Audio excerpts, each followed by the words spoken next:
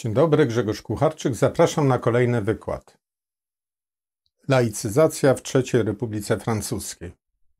To jest temat obecnego wykładu, a więc mówimy o okresie, który rozpoczyna się we Francji w ostatniej ćwierci XIX wieku i zamkniemy tą narrację na wybuchu I wojny światowej w 1914 roku, a więc mniej więcej 50 lat pomiędzy e, ogłoszeniem ostatecznie Republiki we Francji w 1875 roku, a wybuchem Wielkiej Wojny.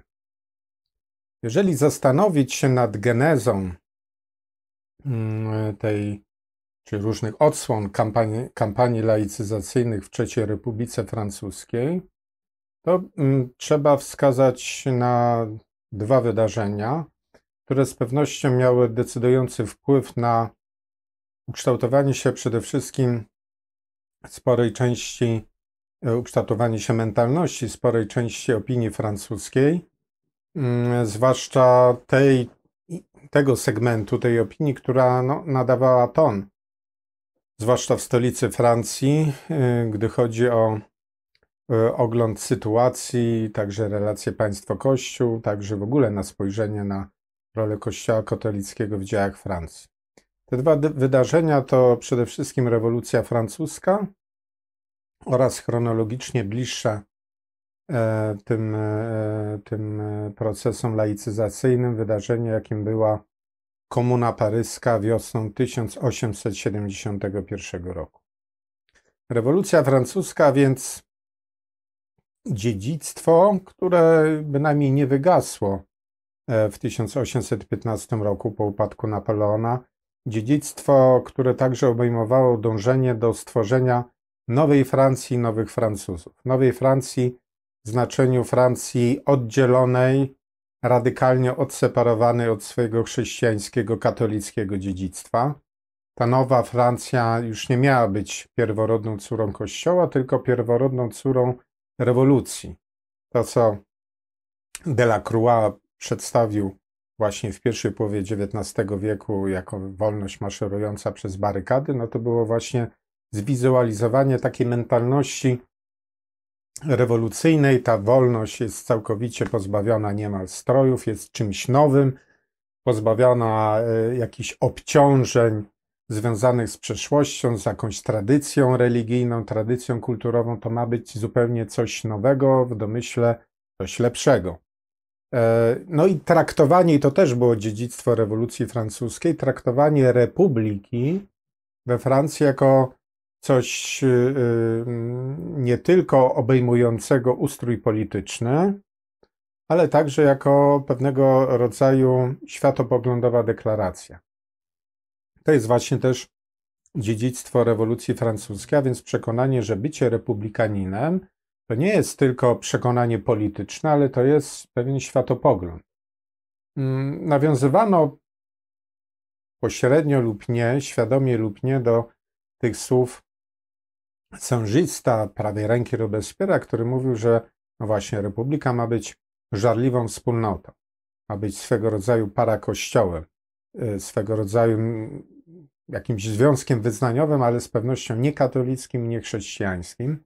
I to, to przekonanie także weszło, no, można powiedzieć, do takiego wspólnego dziedzictwa różnych prądów radykalnych, rewolucyjnych, które po 1815 roku i po 1848 roku, po wiośnie ludów, w tym kraju one były obecne.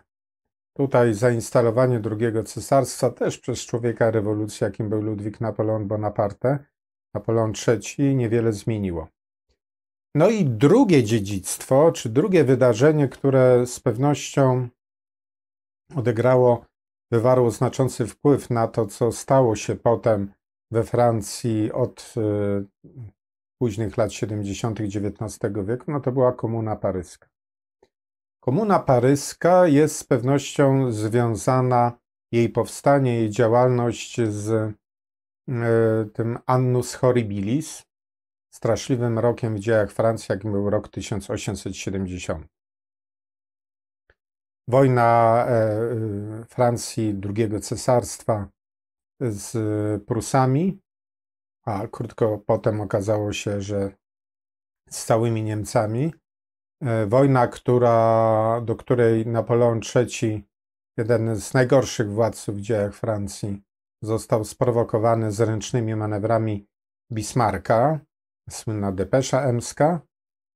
No i ta wojna kończy się mm, bardzo szybko, bo wybuchła w lipcu 1870 roku, a już 2 września 1870 roku pod Sedanem e, kapituluje cała armia francuska, a w tym obozie był także sam cesarz Francuzów Napoleon III. I to jest, ta wojna kończy się upokarzającą klęską. Bonaparte, nazwisko związane ze zwycięstwami, także ze zwycięstwami nad Prusami, no, Jena Auerstedt, teraz stało się synonimem klęski. Sedan. E, I dwa dni potem upada drugie cesarstwo, ogłoszona jest republika w Paryżu. W Paryżu konstytuują się nowe władze, miasta, które w swoim nazewnictwie też nawiązują do czasów rewolucji francuskiej, do tych czasów, można powiedzieć, najbardziej radykalnej fazy rewolucji francuskiej, bo po raz pierwszy w kontekście rewolucyjnym nazwa Komuna Paryska y, pojawia się w okresie dyktatury jakobińskiej, lata 1792-1794. To jest czas terroru, to jest czas też gwałtownej dechrystianizacji w stolicy Francji. No dość wspomnieć chociażby niszczenie wspaniałej katedry Notre Dame w Paryżu, no to właśnie jest dzieło tej pierwszej komuny paryskiej z czasów rewolucji francuskiej. No ale wiosną, ostatecznie wiosną 1871 roku, już po ustaniu działań wojennych, już po zawarciu upokarzającego Fran dla Francji układu pokojowego z Prusami, który oznaczał oddanie przez Francję e, Alzacji Lotaryngii, konieczność wypłacenia gigantycznej, jak nowe czasy, kontrybucji wojennej dla Berlina, Wtedy konstytuuje się, ostatecznie przyjmuje władzę w stolicy Francji Komuna Paryska. Komuna Paryska, która w 1871 roku, wiosną tego roku, złożona jest z sił e, e, różnych e, odmian radykalizmu, socjalizmu, czy też anarchosocjalizmu. Tu mamy do czynienia z różnymi puzzlami, które razem układają się w taki obraz właśnie chęci stworzenia tej nowej, rewolucyjnej masy krytycznej. Y, często w dziejach Francji bywało tak po 1789 roku, że niestety te wszystkie niedobre rzeczy, które, y, które potem rozlewały się na całą Francję, one zaczynały się właśnie w stolicy Francji. Stolica Francji no, nie jest Francją. To bardzo wyraźnie było widać właśnie w 1871 roku, kiedy Zgromadzenie Narodowe, już wybrane po klęsce Francji, y, y, jest, y, obraduje w Bordeaux. Celowo obrady przeniesiono, aby oddzielić się od tego rewolucyjnego Paryża. I w tym Zgromadzeniu Narodowym, w tym nowym parlamencie wyłonionym już po Sedanie, już po klęsce, zdecydowaną większość mają monarchiści monarchiści różnych odłamów, a w każdym razie nie republikanie, no bo mamy legitymistów, orleanistów, mamy bonapartystów. Zadeklarowani republikanie są w zdecydowanej mniejszości. Wybucha komuna paryska, wybucha przewrót, yy, który został ułatwiony tym, że zaraz po ogłoszeniu republiki we Francji, a więc parę dni po w, w samym Paryżu rozdano broń kilkudziesięciu tysiącom ludzi wchodzącym w skład Gwardii Narodowej, która w sensie swojego oblicza politycznego była bardzo też e, taka radykalna, mówiąc dzisiejszym językiem, skrajnie lewicowa. I to, I to jest oczywiście beczka prochu, która czekała na swój zapłon, który wybucha wiosną 1871 e, e, roku, kiedy to rząd w Wersalu, no bo rząd francuski, aby uniknąć bycia zakładnikiem rewolucyjnego Paryża, rezyduje nie w Paryżu, tylko w Wersalu.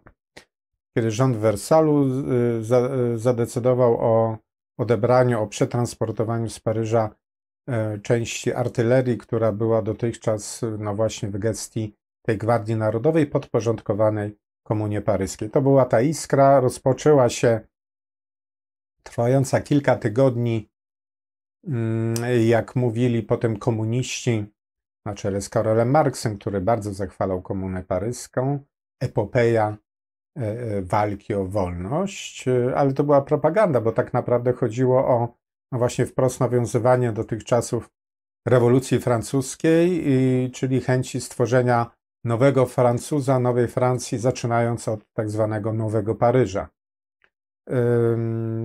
Komuna paryska wprowadziła szereg typowych dla socjalistów rozwiązań gospodarczych, chociażby tak zwane warsztaty narodowe. Tutaj z punktu widzenia tematu dzisiejszego wykładu najważniejsze jest to, że tym przedsięwzięciom towarzyszyła też radykalna antykatolicka polityka. Wśród y, zakładników, y, których Komuna Paryska wzięła zaraz na początku swojego urzędowania, znalazło się wielu duchownych, z których wielu zginęło na czele z arcybiskupem Paryża Georgesem Darboyem. Aresztowywano y, masowo duchowieństwo, zamykano szkoły prowadzone przez zakony, planowano również zniszczenie wśród tak zwanych pozostałości starego systemu, między innymi katedry Notre Dame, także planowano zniszczyć Saint-Chapelle, perełkę sztuki gotyckiej. Mm, no jak wiemy, zaczęto niszczyć te pomniki dawnej kultury francuskiej od budowli świeckich. Spalono królewskie Tuileries, mm, obalono kolumnę e, Vendôme poświęconą Wielkiej Armii cesarzowi Napoleonowi I, ale następne na liście były także budowle sakralne.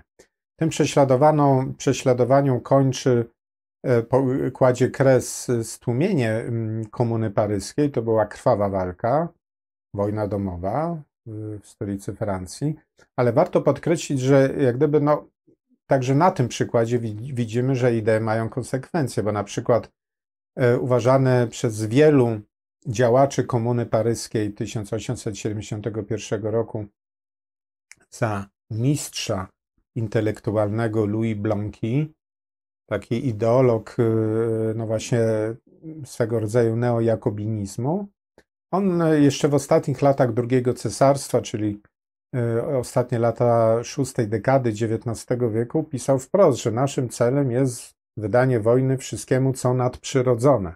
Naszym celem jest doprowadzenie do tego, cytuję, aby Francja już nie śmierdziała katolicyzmem są bardzo e, w jego pismach bardzo agresywne, bardzo e, e, no, takie nacechowane nienawiścią wypowiedzi wymierzone bynajmniej nie tylko w duchowieństwo. To nie był tylko jakiś antyklerykalizm, to był antykatolicyzm. To było przekonanie o tym, że Francja, jeżeli ma być wolna, jeżeli ma być republika, koniecznie nie może być katolicka. Tam katolicyzm nie może śmierdzieć, mówiąc językiem Louis Blanqui. Komuna paryska została stłumiona, y, no ale dziedzictwo pozostało. Między stłumieniem Komuny Paryskiej, czyli 1871 rok, a pierwszymi wyborami do parlamentu już III Republiki, czyli 1876 rok, mamy raptem 5 lat. Od 1870 1909 roku rozpoczyna się gwałtowna laicyzacja Francji, mm, czyli rozumiemy przez to kolejne kampanie odgórnego narzucania Francuzom polityki, która przeszła do historii jako tak zwany rozdział Kościoła od państwa. Ale właśnie tu na przykładzie III Republiki Francuskiej widać wyraźnie, że tak naprawdę nie chodzi o rozdział Kościoła od państwa, nie chodziło tak naprawdę o odseparowanie Kościoła od państwa, tylko chodziło o zdominowanie Kościoła w sensie instytucjonalnym przez państwo laickie. I po drugie, czy najważniejsze, chodziło o odseparowanie całej rzeczywistości społecznej i kulturowej od jakiegokolwiek wymiaru nadprzyrodzoności, zwłaszcza związanego z tradycją katolicką. To był cel. A więc nie chodziło o jakąś separację, jak mówili propagandyści laicyzmu w III Republice i potem ich kontynuatorzy, tylko chodziło o narzucenie, co jest zawsze cechą rewolucji i także było tym razem. No ale jak to się stało, że Zgromadzenie Narodowe wybrane e, w 1871 roku, które miało większość prawicową, nierepublikańską, większością jednego głosu 1875 roku zadecydowało o ogłoszeniu we Francji republiki. No, stało się przede wszystkim dlatego tak, że w tym obozie nierepublikańskim, tak to nazwijmy, no bo mamy tutaj i legitymistów, i orleanistów, i bonapartystów, no właśnie nie panowało zgody. Nie było zgody co do tego, mm, jak, e, jak, jak ta droga do, do monarchii ma wyglądać, z jakiego kierunku ta monarchia ma powrócić. A, no, a do tego doszedł jeszcze również fakt, że ten najpoważniejszy kandydat do tronu francuskiego z tej linii legitymistycznej, a więc Henryk hrabia Chambord, mm, no, nie przyjął warunku powrotu na tron, jakim było zaakceptowanie tricolor, czyli tej trójkolorowej flagi Francji, ponieważ była to flaga rewolucyjna, a Henryk V, jak nazywano hrabiego Chambord w obozie legitymistycznym, nie chciał panować pod sztandarem rewolucji. Chciał powrotu do tradycyjnego sztandaru królów Francji, złotych lilii na białym polu. Tego warunku nie byli na przykład w stanie zaakceptować bonapartyści. No, przecież cesarz Francuzów walczył pod y, y, trójkolorowym sztandarem. I ostatecznie ten, ten obóz y, polityczny, mówiąc w największym skrócie, nie był w stanie dojść do porozumienia i ostatecznie, ostatecznie ogłoszono jednym głosem, e, jednym głosem republikę w 1875 roku. Jak się okazało, no, obóz monarchistyczny zaprzepaścił te swoje pięć minut, które miał wtedy do dyspozycji i yy, wahadło, można powiedzieć, yy, przeszło w drugą stronę. Yy, siły liberalno-radykalne zyskują na popularności. Temu sprzyja również ordynacja e, wyborcza, która panuje od, od 1875 roku, który, która przewiduje dwie tury wyborów parlamentarnych i w tej drugiej turze, nawet jeżeli kandydat y, prawicy miał większość, ale nie absolutną w pierwszej turze, no, spotykał się w drugiej turze z kandydatem szeroko rozumianej lewicy, która no właśnie, w, w ramach tak zwanego paktu senackiego avant la lettre e, porozumiewała się co do tego, żeby przerzucać wszystkie swoje głosy na kandydata nieprawicowego, no i ten mechanizm tak działał przez długie dekady. E, w, po 1876 roku, a zwłaszcza po 1879, e, premierem i ministrem oświecenia zostaje Jules Ferry, i wtedy na przełomie lat 70., 80. XIX wieku mamy do czynienia z pierwszą fazą y, tych y, ostrych praw laicyzacyjnych, które według oficjalnego uzasadnienia mają służyć ukróceniu przywilejów Kościoła, mają służyć wolności Francuzów, mają służyć, no właśnie, tej separacji Kościoła od państwa, ale tak naprawdę służą chęci zdominowania e, Kościoła i zdominowania ludzi wierzących we Francji przez ideologie i siły polityczne, które są wrogie wobec katolicyzmu. Gilles Ferry w swoich wypowiedziach wielokrotnie podkreślał, e, i to w sensie jak najbardziej afirmatywnym, fakt przynależności do masonerii.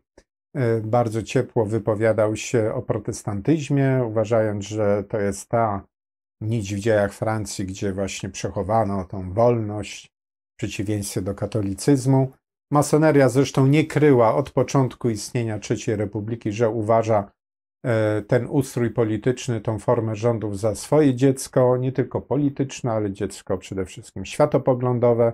Wielokrotnie mamy do dyspozycji wiele źródeł, które świadczą o tym wprost, że popierali wszelkie działania i inspirowali wszelkie działania, które rząd Jules Ferry i potem inni e, jego naśladowcy podejmowali właśnie w kontekście forsownej laicyzacji.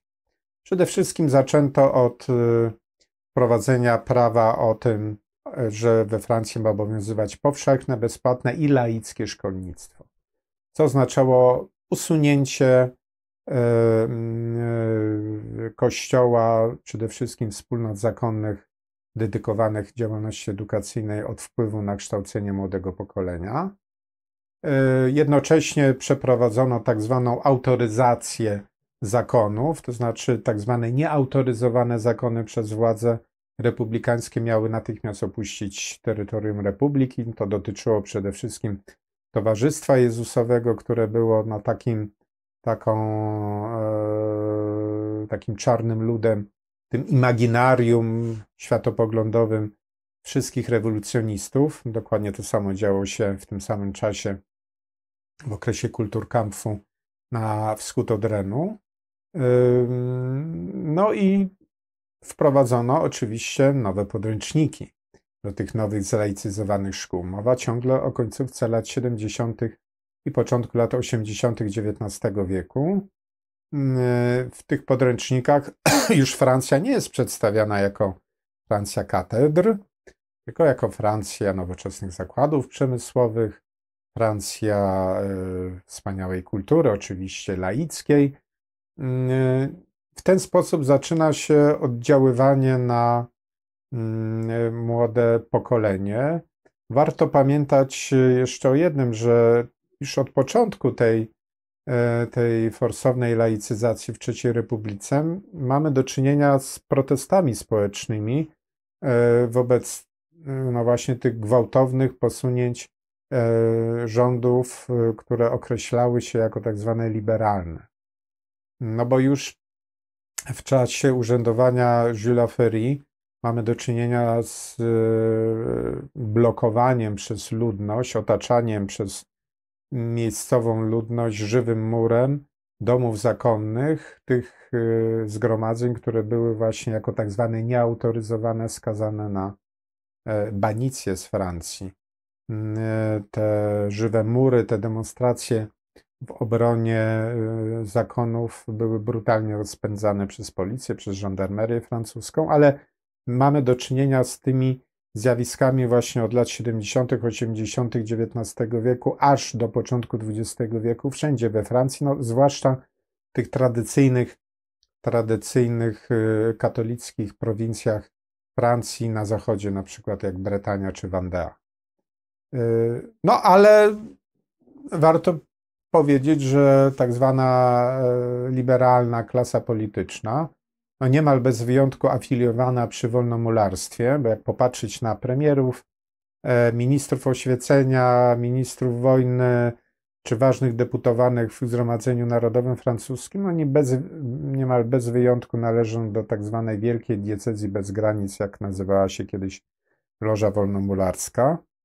No właśnie, jeden z nich, e, e, wolnomularz najwyższego stopnia, Emil Combe, który w latach 1902-1905 był premierem Francji i on e, był twarzą tej ostatniej, najbrutalniejszej fazy laicyzacji w czasie III Republiki Francuskiej. On przygotował ustawę, która już po jego dymisji została uchwalona, taka modelowa ustawa o tak zwanym rozdziale Kościoła od państwa. On wcześniej doprowadził do zerwania konkordatu ze stolicą apostolską. I w czasie jednej z debat e, parlamentarnych Emil Combe, dodajmy wcześniej, e, kształcił się w seminarium duchownym w Albi, napisał doktorat, w którym, e, w którym między innymi krytykował świętego Tomasza Zakwinu za zbytni liberalizm, no ale nie został dopuszczony do święceń. tenże Komp, ponieważ władze kościelne uznały, że jednak y, duchowo nie jest jeszcze dojrzały do kapłaństwa, a więc wtedy wybrał sobie Emil Komp nową ojczyznę duchową, czyli masonerię. No i z takim zapałem neofity, fenomen często spotykany przez tych, którzy albo y, przedwcześnie opuścili seminarium, albo porzucili kapłaństwo, z takim zapałem neofity zaczął atakować Kościół. No ale powróćmy do czasów jego premierowania. On w 1902 roku w czasie jednej z debat parlamentarnych w Zgromadzeniu Narodowym odniósł się do tych protestów, które także wtedy, na początku XX wieku, miały miejsce we Francji w obronie usuwanych y, nie tylko ze szkół, ale w ogóle z Francji zakonników i zakonnic i mówił tak, premier Francji, libera, krzycząc, niech żyje wolność, klasztorny świat nagle oświecony rewolucyjną łaską spieszy pod ołtarze, biorąc za świadka nietolerancji wolnej myśli Boga Syllabusa. Rojaliści, bonapartyści, ci sami ludzie, których widzieliśmy wyruszających przeciw wszelkim prawom wolności, żądają dzisiaj, by laickie państwo postawiło kongregację ponad prawem i poświęciło swoje suwerenne prawa na rzecz mnisiej wszechwładz. Koniec cytatu. Jeden z e, e, deputowanych e, do Zgromadzenia Narodowego, radykalnych, późniejszy premier, znany nam przede wszystkim z czasów I wojny światowej jako Stary Tygrys, Georges Clemenceau, mówił, odnosząc się do zarzutów strony katolickiej, że laicyzując szkolnictwo, władze republiki pozbawiają katolickich rodziców prawa do kształcenia swoich dzieci zgodnie z ich światopoglądem, Clemenceau odpowiadał w 1901 roku. Oto staje dziecko między kapłanem, przedstawicielem najwyższej potęgi na ziemi i nauczycielem skromnej wiedzy ludzkiej. Dwa pojęcia o świecie kłócą się o posiadanie budzącego się umysłu. Proszę zwrócić uwagę na to, że najczęściej rodzice z góry uczynili wybór za dziecko przez chrzest, jakich rodzice zrobili wybór za nich. Cechą doktryny napiętnowana została mała istota od chwili swojego pierwszego kwilenia. W epokach wiary ten gwałt na nowonarodzonym wydawał się obowiązkiem elementarnym. No, można powiedzieć, że Clemenceau w ten sposób nawiązywał do, no właśnie, tradycji rewolucji francuskiej, bo wtedy właśnie Georges Danton mówił, że dzieci należą do republiki i wara rodzicom od, od domagania się od władzy państwowej e, zagwarantowania im wpływu na sposób kształcenia ich dzieci. Emil Combe, który miał tak wielkie zasługi na rzecz wprowadzenia laicyzacji we Francji, e, musiał ustąpić z urzędu w atmosferze skandalu, ponieważ w 1904 roku E, wybuchł, e, no właśnie, wielki skandal, tak zwana afera Fiszkowa. Jeden z prawicowych deputowanych do Zgromadzenia Narodowego, e, do parlamentu francuskiego, poinformował i parlament, i opinię publiczną o tym, że rząd Emila Compa prowadzi szeroko zakrojoną akcję inwigilacji oficerów armii francuskiej. To znaczy, oficerowie ci sprawdzani są pod kątem ich światopoglądu, a konkretnie ich wiary. Informacje na ten temat zbierano na tak zwanych fiszkach. To jeszcze jest czas przedkomputerowej cywilizacji, więc na papierowych fiszkach to, to zbierano. Natomiast kto zbierał te informacje dla rządu? Zbierała, wolno, zbierała masoneria, wolnomularstwo.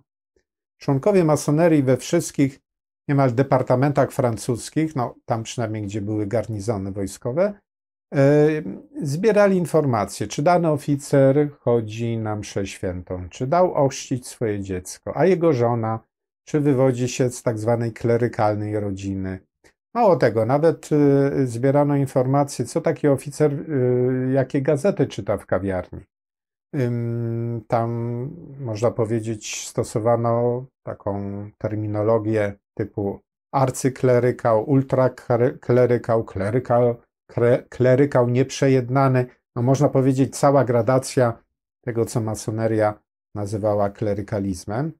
E, ci, którzy byli podejrzani, czyli chodzili na mszę świętą, przyjmowali komunię, pochodzili z klerykalnych rodzin, no to ich dane były, ich te fiszki były gromadzone w folderze pod tytułem Kartagina, tak to określono. Natomiast ci, y, co do których nie było wątpliwości po tych akcjach inwigilacyjnych, ci lądowali w zbiorze fiszek pod tytułem Korynt. E, no, okazało się, że e, akcją inwigilacji objęto ponad 20 tysięcy ludzi, co oznaczało mniej więcej 2 trzecie korpusu oficerskiego armii francuskiej. Wielki skandal. E, Komp musiał się podać do dymisji, podobnie jak jego prawa ręka, minister obrony generał Maurice André, który na przykład miał tak zwane osiągnięcie w postaci wyrzucenia kapelanów z armii. No ale to pokazywało właśnie, ta tak zwana afera fiszkowa, jak w soczewce pokazywała, o co tak naprawdę chodziło w tej laicyzacji. Że nie chodziło o żadną separację, nie chodziło o uwolnienie e, umysłów i dusz młodych ludzi okajdanianych przez zły Kościół katolicki, tylko tak naprawdę chodziło o władzę, o e, zwiększenie kompetencji laickiego państwa kosztem podstawowych praw obywatelskich, y, nawet za pomocą brutalnie prowadzonej inwigilacji. E, kolejnym dowodem na to, na, na, na, na, prawdziwe intencje laicyzatorów były wydarzenia pierwsze lata po wejściu w życie tej tak zwanej ustawy o rozdziale Kościoła od państwa 1905 roku. Otóż ona przewidywała, że cały majątek kościoła, od, y, nie, od małych kościółków y, wiejskich aż po wielkie katedry gotyckie, przechodził na własność y, państwa francuskiego, własność republiki. No i trzeba było ten majątek zinwentaryzować. No i po 1905 roku trwa tak zwana inwentaryzacja majątku kościelnego, co w praktyce oznaczało, że policjanci wchodzili do kościołów i na przykład domagali się otwierania tabernakulum, i bo chcieli też inwentaryzować jego zawartość. No doskonale wiemy, że tabernakulum e, e, może zawierać i z reguły zawiera konsekrowane postacie hostii, czyli czy Najświętsze Ciało Chrystusa, a więc tak zwana inwentaryzacja tak naprawdę E, dotyczyła bluźnierstwa. No, wielkie było oburzenie we Francji, w katolickiej Francji. Wielu ludzi ponownie otaczało żywymi murami, tym, tym razem swoje kościoły i katedry, no ale władza e, laickiej Republiki Miłosierdzia nie znała. E, brutalnie przełamywano te opory, ginęli ludzie. Ginęli ludzie, były ofiary śmiertelne wśród tych wiernych świeckich, którzy bronili swoich kościołów i tabernakulum. E, to pokazywało tak naprawdę o co szło w tej e, wojnie e, de facto religijnej, którą wypowiedziano Kościołowi we Francji. To zresztą Jules Ferry pod koniec lat 70. XIX wieku mówił wprost, że laickość ma być nową religią Francji.